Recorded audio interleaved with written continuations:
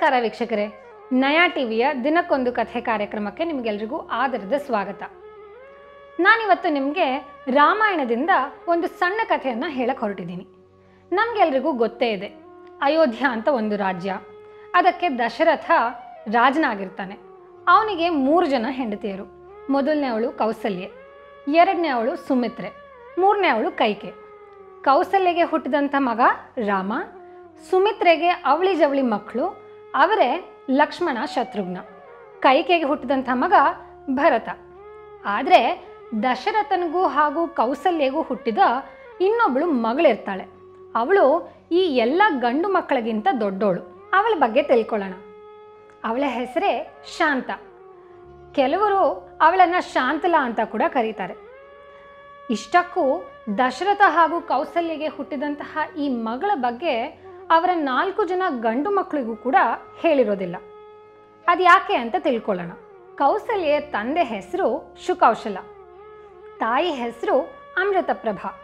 ಇವರಿಬ್ಬರು ಕೋಸಲ ದೇಶದ ರಾಜರಾಣಿಯಾಗಿರ್ತಾರೆ. ಅದನ್ನೇ ಈಗ ನಾವು ಮಗಧ ರಾಜ್ಯ ಅಂತ ಕೂಡ ಕರಿಬಹುದು. ಕೌಸಲ್ಯಗೂ ಮುಂಚೆ ಶುಕೌಶಲ ಹಾಗೂ ಅಮೃತಪ್ರಭಾಗೆ ಇನ್ನೊಬ್ಳು ಮಗಳಿರ್ತಾಳೆ. ಅವಳ ಹೆಸರೇ ವೃಷಾಲಿ. ವೃಷಾಲಿಗೆ ಬಹುಕಾಲಗಳವರೆಗೂ ಮಕ್ಕಳೇ ಆಗಿರಲ್ಲ. ಅವಳು ತುಂಬ ನೊಂದು ಹೋಗಿರ್ತಾಳೆ. ಅದೇ ಸಮಯಕ್ಕೆ ದಶರಥ ಹಾಗೂ ಕೌಸಲ್ಯಗೆ ಶಾಂತ ಅನ್ನುವಂತಹ ಒಂದು ಹೆಣ್ಣು ಮಗು ಹುಟ್ಟಿರ್ತಾಳೆ. ಆಗ ವೃಷಾಲಿ ತನ್ನ ತಂಗಿಯನ್ನು ನೋಡೋದಕ್ಕಾಗಿ ಅಯೋಧ್ಯೆಗೆ ಹೋಗಿರ್ತಾಳೆ. ಅಲ್ಲಿ ಕೌಸಲ್ಯೆ ತನ್ನ ಮಗು ಮುದ್ದಾದಂತಹ ಹೆಣ್ಣು ಮಗು ಶಾಂತಾಳನ್ನು ಕೈಯಲ್ಲಿಟ್ಕೊಂಡು ಕೂತಿರ್ತಾಳೆ. ವೃಷಾಲಿಯು ತನ್ನ ತಂಗಿ ಕೌಸಲ್ಯನ್ನು ನೋಡಿ ಬಹಳ ಸಂತೋಷ ಪಡ್ತಾಳೆ ಆದರೂ ಕೂಡ ಅವಳಿಗೆ ಎಲ್ಲೋ ಒಂದು ಕಡೆ ಅವಳ ಮನಸ್ಸಿನಲ್ಲಿ ಬಹಳ ಬೇಜಾರು ಕೂಡ ಆಗ್ತಾ ಇರುತ್ತೆ.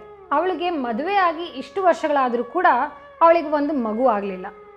ಆದರೆ ತನ್ನ ತಂಗಿ ಅವಳ ನಂತರ ಮದುವೆ ಆಗಿ ಇಷ್ಟು ವರ್ಷಗಳ ಕಾಲ ದಶರಥನ ಜೊತೆಗೆ ಇದ್ದು ಒಂದು ಮುದ್ದಾದ ಮಹಾಲಕ್ಷ್ಮಿಯಂತಹ ಹೆಣ್ಣು ಮಗುವನ್ನು ಹೆತ್ತಿದ್ದಾಳೆ. ಆ ಮಗುವನ್ನು ನೋಡಿ ವೃಷಾಲಿಗೆ ತನ್ನ ಕಣ್ಣು ತುಂಬ ನೀರು ತುಂಬಿ ಹೋಗತ್ತೆ. ಅವಳು ಮಕ್ಕಳಿಲ್ಲದ ಕಾರಣ ಕೌಸಲ್ಯ ಜೊತೆಗೆ ಸ್ವಲ್ಪ ದಿನ ಇದ್ದು ಆ ಮಗುವನ್ನು ತನ್ನ ತಂಗಿ ಕೌಸಲ್ಯ ಬಾಣಂತನವನ್ನು ನೋಡ್ಕೊಳ್ತೀನಿ ಅಂತ ಹೇಳ್ತಾಳೆ. ಹೀಗೆ ಅಯೋಧ್ಯೆಯಲ್ಲಿ ವೃಷಾಲಿ ತನ್ನ ತಂಗಿಯಾದಂತಹ ಕೌಸಲ್ಯ ಹಾಗೂ ಅವಳ ಮಗುವಾದಂತಹ ಶಾಂತವನ್ನ ನೋಡ್ಕೊಳ್ತಾ ಇರ್ತಾಳೆ. ಹೀಗಿರುವಾಗ ವೃಷಾಲಿಯು ತನ್ನ ತಂಗಿಯಾದಂತಹ ಕೌಸಲ್ಯ ಮಗು ಶಾಂತಾಳನ್ನ ಬಹಳ ಪ್ರೀತಿಯಿಂದ ನೋಡ್ಕೊಳ್ತಿರ್ತಾಳೆ. ಅಯೋಧ್ಯೆಯಲ್ಲಿ ಶಾಂತಾಳ ದೈನಂದಿನ ಕಾರ್ಯಗಳೆಲ್ಲವನ್ನೂ ವೃಷಾಲಿಯೇ ನೋಡ್ಕೊಳ್ತಿರ್ತಾಳೆ? ಅವಳ ಹಾಗೂ ಆ ಮಗುವಿನ ಮಧ್ಯೆಯ ಪ್ರೀತಿ ಬಹಳ ಹೆಚ್ಚುತ್ತಾ ಹೋಗುತ್ತೆ.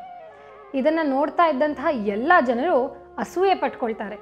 ಈ ಮಗು ತನ್ನ ಹೆತ್ತ ತಾಯಿಗಿಂತಲೂ ಹೆಚ್ಚಾಗಿ ವೃಷಾಲಿಯೊಂದಿಗೆ ಇಷ್ಟು ಚೆನ್ನಾಗಿ ಹೊಂದ್ಕೊಂಡ್ಬಿಟ್ಟಿದೆ ಅಂತ ಎಲ್ರಿಗೂ ಅಚ್ಚರಿ ಕೂಡ ಆಗತ್ತೆ. ಈಗ ವೃಷಾಲಿ ಅಯೋಧ್ಯೆಯನ್ನು, ಕೌಸಲ್ಯೆಯನ್ನು, ಅವಳ ಹೆತ್ತ ಮಗು ಶಾಂತಾಳನ್ನು ಬಿಟ್ಟು ಹೋಗುವಂಥ ಸಮಯ. ಆಗ ವೃಷಾಲಿ ತುಂಬ ದುಃಖದಲ್ಲಿ ಇರ್ತಾಳೆ. ಆ ದುಃಖವನ್ನು ನೋಡಿ ಕೌಸಲ್ಯೆ ಅರ್ಥ ಮಾಡ್ಕೊಂಡ್ಬಿಡ್ತಾಳೆ. ತನ್ನ ಅಕ್ಕ ವೃಷಾಲಿಗೆ ಮಕ್ಕಳಿಲ್ಲ. ನನ್ನ ಮಗುವನ್ನು ತನ್ನ ಮಗುವಿನ ಹಾಗೆ ಇಷ್ಟು ಮುದ್ದಾಗಿ ಪ್ರೀತಿಯಿಂದ ಸಾಕಿ ಸಲಹಿದ್ದಾಳೆ. ಈಗ ಒಂದೇ ಸಮನೆ ಈ ಮಗುವನ್ನು ನನ್ನನ್ನು ಬಿಟ್ಟು ಹೋದರೆ ಅವಳಿಗೆ ತುಂಬ ಮನಸ್ಸು ನೋವಾಗತ್ತೆ ಅಂತ ಕೌಸಲ್ಯಗೆ ಅರ್ಥ ಆಗೋಗತ್ತೆ. ಅದೇ ಸಮಯದಲ್ಲಿ ವೃಷಾಲಿಯು ಕೌಸಲ್ಯನ ಕೇಳ್ತಾಳೆ. ನನಗೆ ಪುತ್ರಭಾಗ್ಯ ಇಲ್ಲವೇ ಇಲ್ಲ. ನಿನಗೆ ನೀನಲ್ದಿದ್ರೂ ಸಹ ದಶರಥನಿಗೆ ಇನ್ನೂ ಇಬ್ಬರು ಹೆಂಡತಿಯರಿದ್ದಾರೆ ಸೊ ನೀವು ಮೂವರಲ್ಲಿ ಯಾರಾದರೂ ಒಬ್ಬರು ಈ ಅಯೋಧ್ಯೆಗೆ ಒಂದು ಪುತ್ರಭಾಗ್ಯವನ್ನು ನೀಡೇ ನೀಡ್ತೀರ? ಹಾಗಾಗಿ ಶಾಂತಾಳನ್ನು ನನಗೆ ಕೊಟ್ಟು ಬಿಡು ಅಂತ ಕಾಡಿ ಬೇಡ್ಕೊಳ್ತಾಳೆ. ಆಗ ಕೌಸಲ್ಯೆಯ ಮನಸ್ಸು ಕರಗಿ ಹೋಗ್ಬಿಡತ್ತೆ. ಅವಳು ತಕ್ಷಣ ತನ್ನ ಪತಿ ದಶರಥ ಹತ್ರ ಹೋಗ್ಬಿಟ್ಟು ಅವಳ ಮನಸ್ಸಿನ ಮಾತುಗಳನ್ನ ಹೇಳ್ಕೊಳ್ತಾಳೆ. ನನ್ನ ಅಕ್ಕ ವೃಷಾಲಿಗೆ ಮಕ್ಕಳ ಭಾಗ್ಯ ಇಲ್ಲ. ನಮ್ಮ ಈ ಮಗು ಶಾಂತಾಳನ್ನು ಅವಳಿಗೆ ಕೊಟ್ಟು ಬಿಡೋಣ. ಅವಳು ದತ್ತು ತಗೊಂಡು ಶಾಂತಾಳನ್ನು ಬಹಳ ಪ್ರೀತಿಯಿಂದ ಸಾಕ್ತಾಳೆ ಅಂತ ಹೇಳ್ತಾಳೆ. ದಶರಥ ಕೂಡ ವೃಷಾಲಿ ಮೇಲೆ ಇದ್ದಂತಹ ಅಭಿಮಾನಕ್ಕಾಗಿ ಈ ಒಪ್ಪಂದಕ್ಕೆ ಒಪ್ಕೊಳ್ತಾನೆ. ಹೀಗೆ ಕೌಸಲ್ಯ ಮತ್ತು ದಶರಥನಿಗೆ ಹುಟ್ಟಿದಂತಹ ಈ ಮುದ್ದಾದ ಹೆಣ್ಣು ಮಗು ಶಾಂತಾಳನ್ನು ಕೌಸಲ್ಯ ಅಕ್ಕನಾದಂತಹ ವೃಷಾಲಿಗೆ ದತ್ತು ಕೊಟ್ಬಿಡ್ತಾರೆ ಅವಳು ಬಹಳ ಪ್ರೀತಿಯಿಂದ, ಸಂತೋಷದಿಂದ ಆ ಮಗುವನ್ನು ದತ್ತು ಪಡೆದು ಅವಳೇ ಸಾಕಿ ಸಲಹುತ್ತಾಳೆ. ಆದರೆ ದಶರಥ ಹಾಗೂ ಅವನ ಮೂವರು ಹೆಂಡತಿಯರು, ಅಂದರೆ ಕೌಸಲ್ಯೆ, ಸುಮಿತ್ರೆ, ಕೈಕೆ, ಇವರು ಮೂವರಿಗೆ ಹುಟ್ಟಿದಂತಹ ನಾಲ್ಕು ಜನ ಗಂಡು ಮಕ್ಕಳಿಗೆ ಶಾಂತಾಳ ನಿಜ ಸಂಗತಿಯನ್ನು ಯಾರಿಗೂ ಹೇಳೋದಿಲ್ಲ. ಇದಾದ ನಂತರ ಈ ನಾಲ್ಕು ಗಂಡು ಮಕ್ಕಳಿಗೂ ಹಾಗೂ ಶಾಂತಾಳಿಗೂ ಬಹಳ ಅನ್ಯೋನ್ಯತೆ ಇರೋದಿಲ್ಲ. ಆದರೂ ಸಹ ಹಬ್ಬ ಹರಿದಿನಗಳಲ್ಲಿ, ಯಾವುದೇ ಪುಣ್ಯ ಕಾರ್ಯಗಳಲ್ಲಿ, ಯಾವುದೇ ಶುಭ ಸಮಾರಂಭಗಳಲ್ಲಿ ಅವರು ಒಬ್ಬರನ್ನೊಬ್ಬರು ಭೇಟಿಯಾದಾಗ ಅವರು ಯಾರೂ ದಾಯಾದಿಗಳಂತೆ ಇರಲೇ ಇಲ್ಲ.